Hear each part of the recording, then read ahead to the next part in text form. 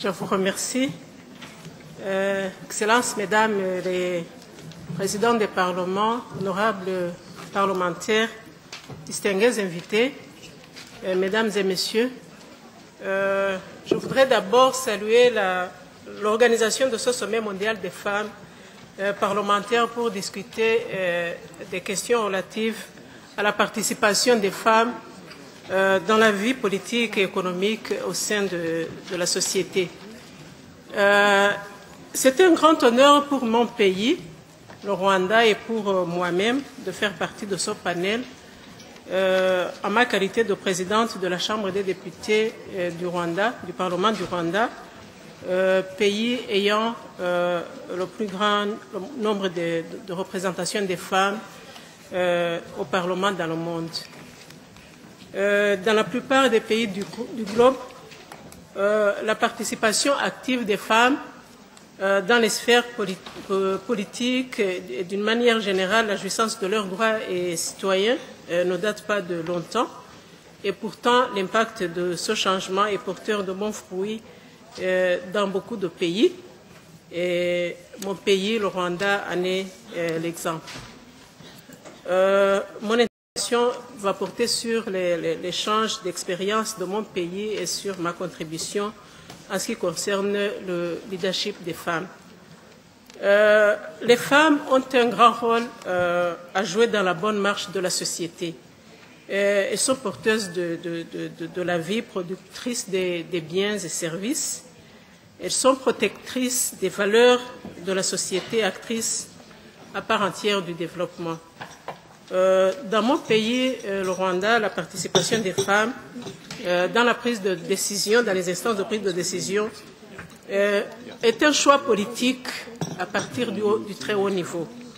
C'est un choix politique d'ordre stratégique qui concrétise le respect des droits des femmes comme droit de la personne à part entière, tel que préconisé dans les instruments internationaux, à l'instar desquels euh, il y a la Convention SIDO, euh, la déclaration de Beijing et sa plateforme, pour ne citer que cela.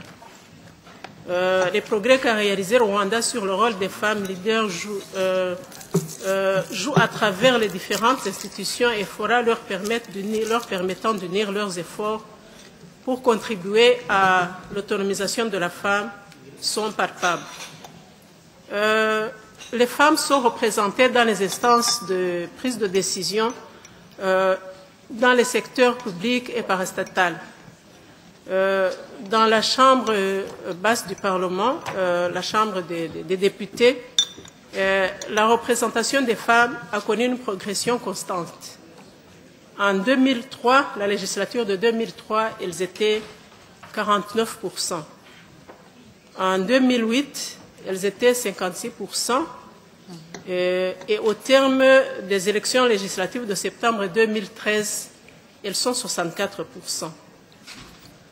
Et au Sénat, elles sont 38%. Euh, au gouvernement, au cabinet, elles sont 37%. Euh, elles sont de 44% dans les instances euh, de l'administration locale et plus de 40% dans le judiciaire.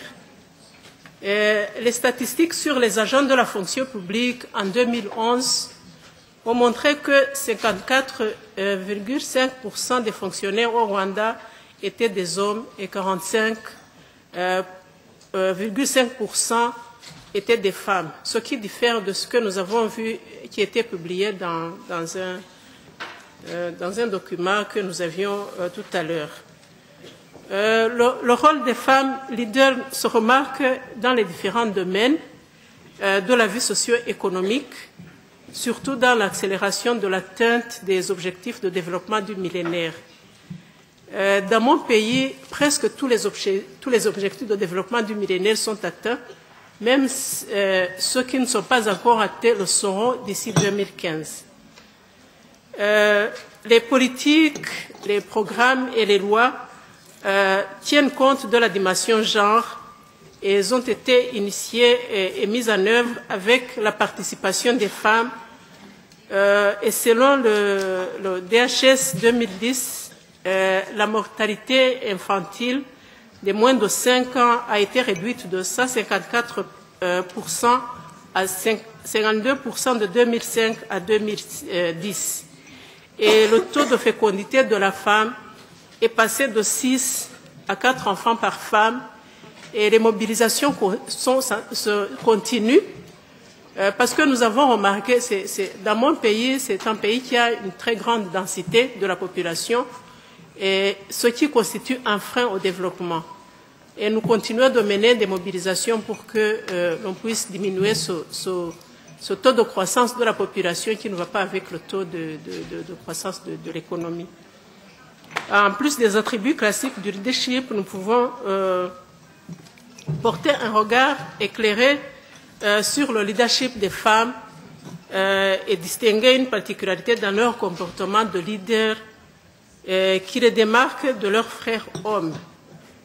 On remarque que les femmes sont sensibles, elles sont conciliantes, elles sont humbles et sont pragmatiques. Elles sont naturellement orientées vers le bien-être social et le service des membres de la collectivité. Et elles se focalisent sur l'essentiel et ne perdent pas beaucoup de temps dans les détails sans valeur ajoutée. Elles aiment et valorisent la coopération avec les hommes et les autres collaborateurs. Et c'est l'expérience que nous avons dans notre pays parce qu'on a développé un partenariat avec les hommes pour qu'ils puissent comprendre ce concept genre et la nécessité euh, que, les femmes participent en grand nombre, mais aussi les femmes capables euh, dans la vie politique du pays. Elles sont combatives et persévèrent jusqu'à l'atteinte des objectifs. Elles sont bonnes gestionnaires euh, des personnes et des biens. Euh, on, a remarqué que les institutions qui sont dirigées euh, par les, femmes dans notre pays euh, gèrent bien le, le, les biens publics. Et il y a une étude aussi qui a été faite par la Banque mondiale. Qui a, on a remarqué que les crédits qui sont accordés aux femmes, si minimes soient-elles, bénéficient beaucoup plus à la famille et à la société, beaucoup plus les crédits qui sont accordés aux hommes et qui sont généralement euh, euh, d'une grande taille. Euh, en vue de soutenir la pleine participation des femmes et optimiser leur impact, il est temps de s'attaquer à des défis d'ordre structurel tels que les sociétés patriarcales, les résistances au changement et conjoncturels tels que l'ignorance, la pauvreté et l'accès euh, aux ressources et à leur contrôle, la domination des, hommes, les violences domestiques, la méfiance et le manque du soutien des autres femmes, qui alimentent les stéréotypes, ce qui, ressent, euh, se ressent sur les résultats.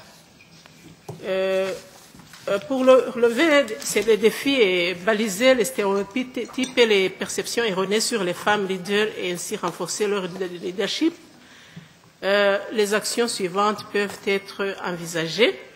Il faut renforcer le cadre euh, juridico-normatif favorable à l'égalité homme-femme. Dans mon pays, cet objectif a été atteint. Parce que toutes les lois discriminatoires en faveur des, femmes ont été révisées, et voire euh, euh, donc toutes les lois tiennent compte de la dimension genre euh, le budget qu'on vote tient compte de la dimension genre. Et on engage un dialogue permanent avec les décideurs en faveur de l'égalité genre. Il faut initier les forats de concertation des femmes leaders visant un échange d'expériences, euh, une analyse des politiques, la création d'une voix forte et le renforcement mutuel. Euh, il faut renforcer aussi les capacités des femmes à travers le mentorat des femmes en politique, les jeunes filles, euh, le coaching de nouvelles élus, la création des communautés de pratique, euh, pour mener les actions stratégiques concrètes et à impact social et durable, euh, renforcer le partenariat hommes-femmes telle que nous connaissons l'expérience dans notre pays. Promouvoir l'éducation et la formation des filles, étant donné qu'il s'agit des futures femmes leaders. Euh, promouvoir la participation égale des femmes et des hommes dans la vie euh, publique constitue une force motrice euh, pour réduire la pauvreté, accroître les revenus des pauvres et donc assurer la croissance économique du pays tout entier, tout en répondant aux besoins de développement de la société en perpétuelle mutation.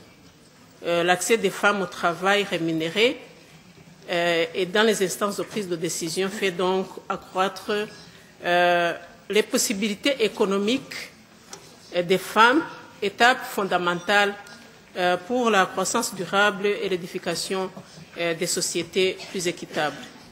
Je suis convaincue qu'avec le ferme engagement des acteurs politiques dans la gouvernance et des femmes leaders en particulier, les changements et les réformes nécessaires pour progresser vers l'égalité peuvent devenir tangibles et offrir des avantages à chaque citoyenne et à chaque citoyen.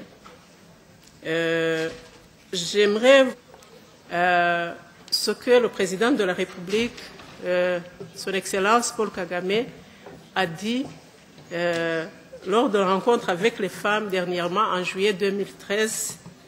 Rwanda developed because it gave women their deserved dignity. Your role gives dignity to the whole nation. Je vous remercie.